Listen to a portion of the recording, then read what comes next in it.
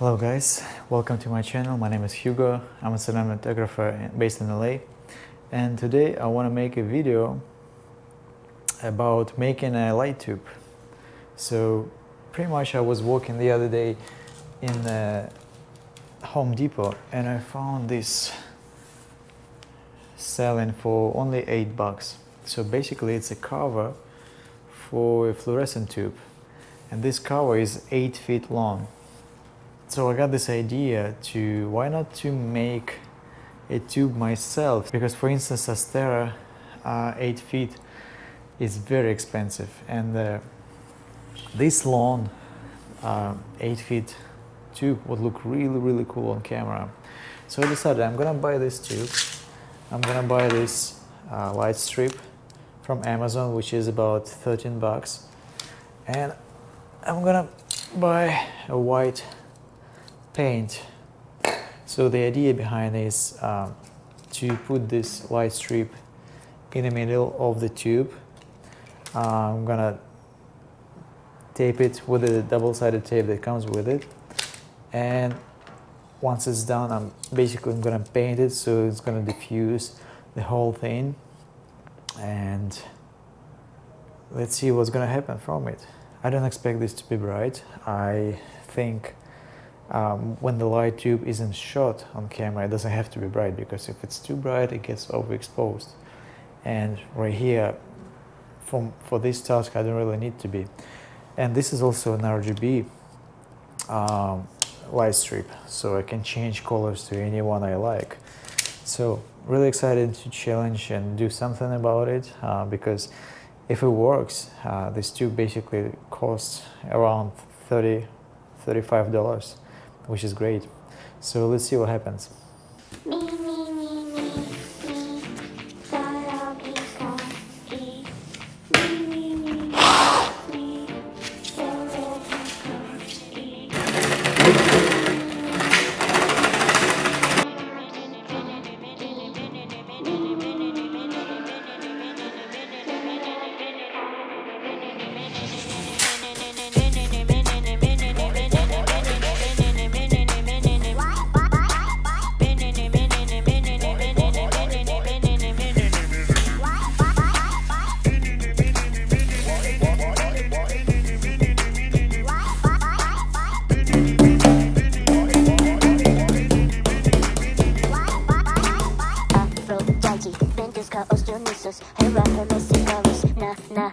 Narcissus, Medusa, Susus, Minerva.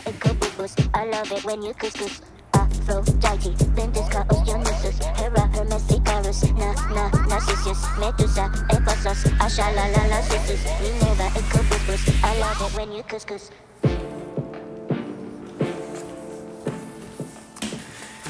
So, turned out I cut out a little bit too early. I was supposed to cut out after this piece and therefore oh it, it's me who's stupid. It even has a marking that you have to cut here. So because I've cut it there those diodes don't work. But it's no biggie. As for the sake of experiment it should be fine. Okay looks like it works. The only thing we need now is to paint it. Let's see how it goes. I love it when you couscous. Love it when you couscous. Love it when you couscous. Couscous. I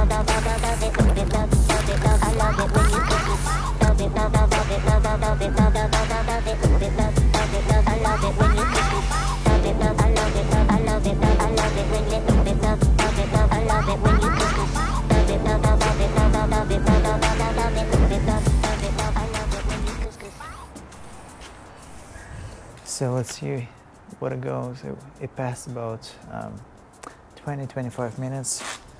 It feels like the paint is dry.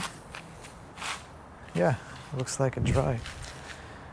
So let's plug it in and see how it goes. So it gets a little bit darker. And let's turn on our self-made tube. You can actually close the ends.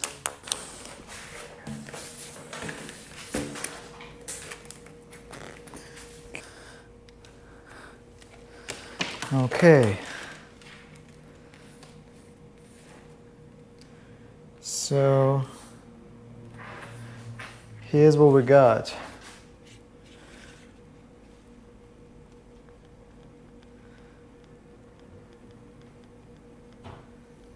Not bad, I want to say. The only thing is the paint isn't even. So I probably have to make a nice layer again.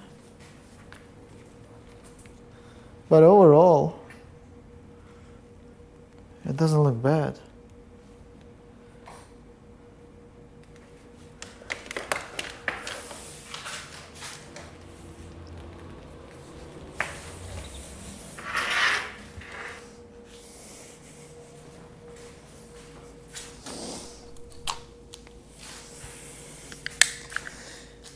You see it has these little spots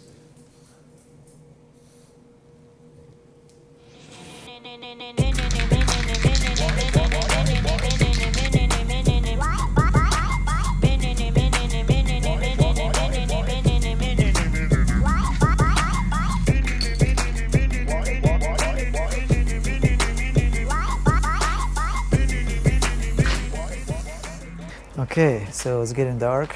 Um, let's see if it's dry enough. Yeah, it's dry enough. Great. So the second layer looks way better, but let's see how it's gonna look when the light's on. So, let's see.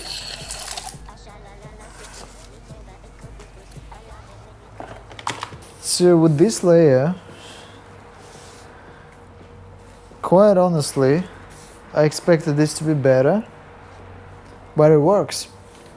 Next time, if I would have done this next time, I probably would have made a nicer and more even layers. So it's more evenly distributed. Even though it's pretty much a, a tube for how much? $35. So basically it's a tube for $35. Not bad, yeah? And if you need to do some production design and to make nice long tubes, that's the way to do it, yeah? And it's RGB. I can pretty much control it, doing different colors. So this is it. I hope this video was useful. Thank you for your time. Don't forget to subscribe. See you in the next one.